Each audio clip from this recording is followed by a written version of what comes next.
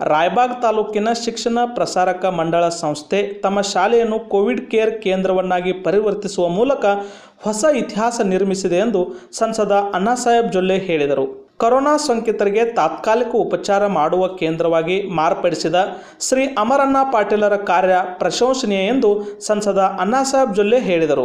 ರಾಯಬಾಗ್ ಸಾರ್ವಜನಿಕ ಆಸ್ಪತ್ರೆ, ಕೋವಿಡ್ ಉಪಚಾರ ಕೇಂದ್ರ ರಾಯಬಾಗ್, ಶಿಕ್ಷಣ ಪ್ರಸಾರಕ ಮಂಡಳ ರಾಯಬಾಗ್, ಜೊಲ್ಲೆ ಚಾರಿಟಿ ಫೌಂಡೇಶನ್ ಹಾಗೂ ದುರ್ಯೋಧನ ಐಹೊಳೆ ಕೋವಿಡ್ ಸೇವಾ ಕಾರ್ಯ ಇವುಗಳ ಸಂಯುಕ್ತ ಆಶ್ರಯದಲ್ಲಿ ರಾಯಬಾಗ್ನಲ್ಲಿ ಕೋವಿಡ್ ಉಪಚಾರ ಕೇಂದ್ರ ಉದ್ಘಾಟಿಸಿ ಸಂಸದ ಅಣ್ಣಾಸಾಹೇಬ್ ಜೊಲ್ಲೆ ಮಾತನಾಡಿದರು. ಆಸ್ಪತ್ರೆಗಳಲ್ಲಿ ಎಲ್ಲರಿಗೂ ಚಿಕಿತ್ಸೆ ನೀಡಲು ಸಾಧ್ಯವಿಲ್ಲ. ಹೋಮ್ ಐಸೋಲೇಷನ್ ಮಾಡಬೇಕಾಗುತ್ತದೆ. ಕುಟುಂಬಗಳಲ್ಲಿ ಪ್ರತ್ಯೇಕ ಕೊಠಡಿಗಳಲ್ಲಿದ್ದವರು ಕೋವಿಡ್ ಕೇರ್ ಕೇಂದ್ರಗಳಲ್ಲಿ ದಾಖಲಾದರೆ ಸೋಂಕು ಹರಡುವುದನ್ನು ತಡೆಯಲು ಸಾಧ್ಯ ಎಂದರು.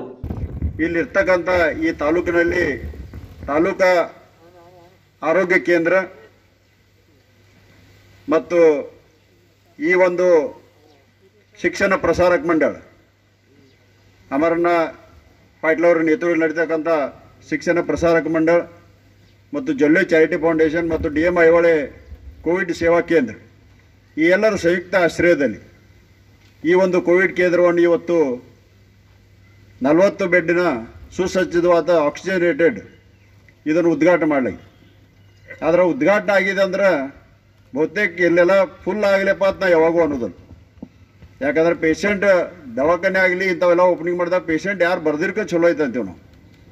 ಖಾಲಿ ಉಳಿದ್ರೆ ಭಾಳ ಚಲೋ. ಯಾಕಂದ್ರೆ ಅಷ್ಟು ಈಗೆಲ್ಲ ಮುಗೀತು ಬಂದ ಬಂದಿದ್ದು ಸ್ವಲ್ಪ ಮಟ್ಟಿಗೆ ಕಮ್ಮಿ ಆಗದೈತಿ ಇನ್ನೂ ಪೂರ್ತಿ ಕಮ್ಮಿಯಾಗಿ ಬಹುತೇಕ ಪೇಷಂಟ್ ಎಲ್ಲ ಬರ್ದಿರ್ಕನ ಚಲೋ ಐತಿ. ಅದರಲ್ಲಿ ಕೂಡ ಸ್ವಲ್ಪ ಮಟ್ಟಿಗೆ ಯಾರೇ ತೊಂದರೆ ಆದ ಅವ್ರಿಗೆ ಅನುಕೂಲ ಆಗಲಿ ಅಂತ ಈ ಸೆಂಟ್ರ್ ಉಪಯೋಗ ಆಗಿದೆ ಯಾರೋ ಇವತ್ತು ಕೋವಿಡ್ ಸೆಂಟರ್ ನಾವು ಮಾಡೋದಾಗಲಿ ಮತ್ತು ಪ್ರೈವೇಟ್ದಲ್ಲಿ ಇರೋದಾಗಲಿ, ಇದು ಎಷ್ಟು ಒಂದು ಬದಲಾವಣೆ ನಿಮಗೆ ಮೊದಲು ಹೇಳ್ತೇನೆ ನಾನು. ಈಗ ಯಾಕೆ ನಮ್ಮ ರೈತರ ಜನರು ಇಷ್ಟೊಂದು ತೊಂದರೆಯಲ್ಲಿದ್ದಾರೆ ಮತ್ತು ನಮ್ಮ ಹಳ್ಳಿ ಜನರು ತೊಂದರೆಯಲ್ಲಿದ್ದಾರೆ ಅದಕ್ಕೆ ಎರಡು ಕಾರಣೀಭೂತ ಒಂದು ಒಂದಂದ್ರೆ ಅಲ್ಲೇ ಮೈ ಮ್ಯಾಗ ತೆಗೆದು ಬಿಡೋದು. ಇದು ಯಾವುದೋ ಒಂದು ಕೆಮ್ಮು ಬರಲಿ, ನೆಗಡಿ ಬರಲಿ, ಒಂದು ಏನೋ ಸಿಂಪ್ಟಮ್ಸ ಮತ್ತು ನಮ್ಗೆ ಸ್ವಲ್ಪ ಅದಾರಿ ಬಂತಂದ್ರೆ ಅಲ್ಲೇದಲ್ಲೇ ಎಲ್ಲಿದ್ರೆ ಒಂದು ಅಂಗಡಿಯಿಂದ ಗೋಳಿ ತೊಗೊಂಡು ಅಥವಾ ಮನ್ಯಾಗ ಏನರ ಒಂದು ಕಾಡ ಬೀಡ ಮಾಡ್ಕೊಂಡು ಅಲ್ಲೇದಲ್ಲೇ ಇರೋದು. ಯಾಕಂದ್ರೆ ದವಾಖಾನೆಗೆ ತೋರಿಸೋದಿಲ್ಲ. ಯಾಕೆ ತೋರಿಸಿಲ್ಲ ಅಂದ್ರೆ ಅಲ್ಲೇ ಕಮ್ಮಿ ಆಗ್ತಿದ್ದು ಬಿಡು ಅಂತವ್ರು ಅದನ್ನು ದೊಡ್ಡದಾದ ಪೇಟಿಗೆ ಆಮೇಲೆ ಎಲ್ಲಿ ಹೊರಗೆ ಹೋದ್ರೆ ಆಕ್ಸಿಜನ್ ಬೆಡ್ ಬೇಕಾತಿದೆ ಅಥವಾ ವೆಂಟಿಲೇಟರ್ ಬೇಕಾದವು. ಅವಾಗ ಏನೂ ಉಪಯೋಗ ಅಲ್ಲ ಯಾಕಂದ್ರೆ ಅವಾಗ ತೋರಿಸಿಲ್ಲ ಅಂದ್ರೆ ಒಂದು ನೂರು ರೂಪಾಯಿ ಬರೀ ಗುಳಿದಾಗ, ಯಾಕಂದ್ರೆ ಎ ಡಿ ಎಚ್ ಅವ್ರು, ಗಡದವ್ರು ಭಾಳ ಸವಿಸ್ಕಾರವಾಗಿ ಹೇಳಿದಾರೆ ತಮ್ಮದಿಗೆ ಯಾಕಂದ್ರೆ ದಿವಸ ಅದ್ರಾಗ ಇರ್ತಾರೆ ಅವ್ರು. ಎಲ್ಲ ಪೇಷಂಟ್ಗಳು ಅವ್ರ ಕಣ್ಣು ಮುಂದೆ ಬಂದು ಹೋಗಿರ್ತಾವ್ರು. ಅದೇ ಪ್ರಕಾರ ನಮ್ಮ ಪಿ ರಾಜು ಅವ್ರು ಕೂಡ ಹೇಳಿ. ಡಿ ಎಂ ಐವಳೆ ಅವ್ರು ಹೇಳಿ. ಇವೆಲ್ಲ ಹೇಳೋದ್ರಿಂದ ಇಷ್ಟು ಮತ್ತೊಂದು ವಿಷ ಮತ್ತೊಂದು ಕಾರಣ ಅಂದ್ರೆ ನಮ್ಮ ರೈತ ಜನರಿಗೆ ಇವತ್ತು ಯಾರು ದವಾಖಾನೆಗೆ ಹೋಗ್ತೀವೋ ಅಂತಾರು, ಅಲ್ಲಿ ಸರ್ಕಾರಿ ವ್ಯವಸ್ಥೆ ಇಲ್ಲ ಆದ ಕಾರಣ ಪ್ರೈವೇಟ್ಗೆ ಹೋಗೋದಾದ್ರೆ ಬಿಲ್ ಹೆಚ್ಚಾಗ್ತಿದ್ದು ಅಂಜ್ ಯಾರು ಹೋಗ್ತಾ ಇಲ್ಲ. ಇಲ್ಲೇದಿಲ್ಲೇ ಮಾಡ್ತಾರೆ. ಅದರ ಪರ್ಯಾಯವಾಗಿ ನಾವು, ಬರೇ ಸರ್ಕಾರ ಅಷ್ಟೇ ಮಾಡ್ತಿದ್ದೆ ಅಂತಲ್ಲ, ಸರ್ಕಾರ ಜೊತೆ, ಜೊತೆಗೆ ಜನಪ್ರಿಯ, ಜನಪ್ರತಿನಿಧಿಗಳು ಮತ್ತು ಇಂಥ ಸಂಘ ಸಂಸ್ಥೆಗಳು ಅಥವಾ ಮಠಾಧೀಶರುಗಳು ಇಂಥವ್ರೆಲ್ಲ ಕೂಡಿ ಸೇರ ಜನರ ಸೇವೆ ಒಳ್ಳೆಯ ರೀತಿ ನಾವು ಈ ಸಂದರ್ಭದಲ್ಲಿ ಅತಿಥಿಗಳಾಗಿ ಪಾಲ್ಗೊಂಡಿದ್ದ ಕುಡ್ಚಿ ಮತಕ್ಷೇತ್ರದ ಶಾಸಕ ಪಿ ರಾಜು ಮಾತನಾಡಿ ಅಮರ್ ಸಿಂಗ್ ಪಾಟೀಲರ ಮುಂದಾಳತ್ವದಲ್ಲಿ ತಾಲೂಕು ಆಡಳಿತ ಸಂಸದರ ಮಾರ್ಗದರ್ಶನದಲ್ಲಿ ಬಹಳ ದೊಡ್ಡ ಕೆಲಸಕ್ಕೆ ಕೈ ಹಾಕಿದೆ.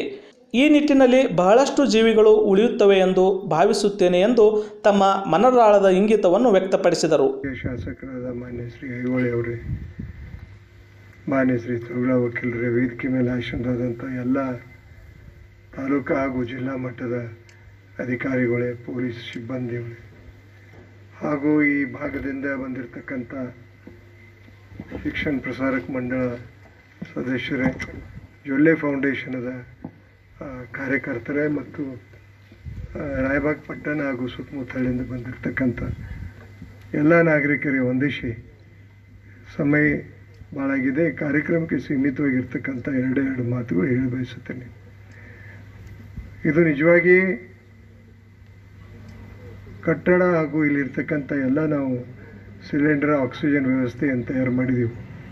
ಹಾಗೂ ಜೊಲ್ಲೆ ಫೌಂಡೇಶನ್ದಿಂದ ಬರ್ತಕ್ಕಂಥ ಎಲ್ಲ ಸೌಲಭ್ಯಗಳು ಒಟ್ಟಾರೆ ಹೂಡಿಕೆ ಮಾಡಿ ಅದನ್ನು ಸರ್ಕಾರ ಹಾಸ್ಪಿಟಲ್ಗೆ ನಾವು ಹ್ಯಾಂಡ್ ಓವರ್ ಮಾಡಿದ್ದೀವಿ A H or A D H ಸಾಹೇಬರು ಈಗಾಗಲೇ ಅದನ್ನು ಸ್ವೀಕಾರ ಮಾಡಿದ್ರು. ಯಾಕಂದರೆ ಸರ್ಕಾರ ವತಿಯಿಂದ ಬರ್ತಕ್ಕಂಥ ಅನೇಕ ಅವ್ರದಿಂದ ಅವ್ರ ಕಡೆದು ಬರ್ತಕ್ಕಂಥ ಸೌಲಭ್ಯಗಳು ಒಟ್ಟಾಗಿ ಕೂಡಿ ಇಲ್ಲಿ ಮುಕ್ತವಾಗಿ ಫ್ರೀ ಫ್ರೀಯಾಗಿ ಬಡವರಿಗೆ ಮತ್ತು ಯಾರಿಗೆ ಪ್ರೈವೇಟ್ ಹಾಸ್ಪಿಟಲ್ ಲಕ್ಷ ಗಂಟಲೆ ರೊಕ್ಕ ಕೊಟ್ಟು ಹೋಗ್ತಾರೋ ಅಥವಾ ಹೋಗಕ್ಕೆ ಪ್ರಯತ್ನ ಮಾಡಿದರೂ ಕೂಡ ಸಾಧ್ಯ ಆಗೋದಿಲ್ಲ ಅಂಥ ಜನರಿಗೆ ಮುಕ್ತ ಮುಕ್ ಫ್ರೀಯಾಗಿ ಅಂದರೆ ಮುಕ್ತವಾಗಿ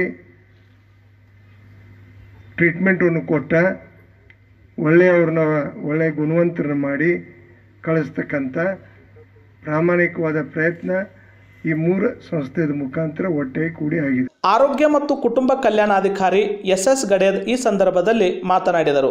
ಕಾರ್ಯಕ್ರಮದಲ್ಲಿ ತಹಸೀಲ್ದಾರ್ ಡಾಕ್ಟರ್ ಮೋಹನ್ ಬಸ್ಮೆ ಶಿಕ್ಷಣ ಪ್ರಸಾರಕ ಮಂಡಳದ ಅಧ್ಯಕ್ಷ ಅಮರ್ ಸಿಂಗ್ ಪಾಟೀಲ್, ಯುವ ಮುಖಂಡರಾದ ತ್ರಿಕಾಲ್ ಪಾಟೀಲ್, ಬಸವಪ್ರಸಾದ್ ಜೊಲ್ಲೆ, ಶಾಸಕರಾದ ದುರ್ಯೋಧನ ಐಹೊಳೆ ಪಿ ರಾಜು ತಾಲೂಕಾ ವೈದ್ಯಾಧಿಕಾರಿ ಶ್ರೀಮಂತ ಬಾಣೆ, ಸಾರ್ವಜನಿಕ ಆಸ್ಪತ್ರೆಯ ವೈದ್ಯಾಧಿಕಾರಿ ರಮೇಶ್ ರಂಗಣ್ಣವರ್, ಕ್ಷೇತ್ರ ಶಿಕ್ಷಣಾಧಿಕಾರಿ ಪ್ರಭಾವತಿ ಪಾಟೀಲ್, ಶ್ರೀಮತಿ ಭಾಗ್ಯಶ್ರೀ, ಪೂರ್ಣಿಮಾ ಪಾಟೀಲ್, ನಿಂಗಪ್ಪ ಪಂಕಾಡೆ, ಬಸವರಾಜ್ ಡೋನ್ವಡೆ, ಎಲ್ ಬಿ ಚೌಗ್ಲಾ, ಸದಾನಂದ ಹಳಿಂಗಳಿ, ರಾಜು ದೇಶಪಾಂಡೆ ಅಣ್ಣಾಸಾಹೇಬ್ ಖಮಲಾಪುರೆ ಶಿವಪ್ಪ ನಾಯ್ಕ್, ಧುಳಗೌಡ ಪಾಟೀಲ್, ರಾಜು ಶಿರ್ಗಾವೆ ಸೇರಿದಂತೆ ಮುಂತಾದವರು ಉಪಸ್ಥಿತರಿದ್ದರು.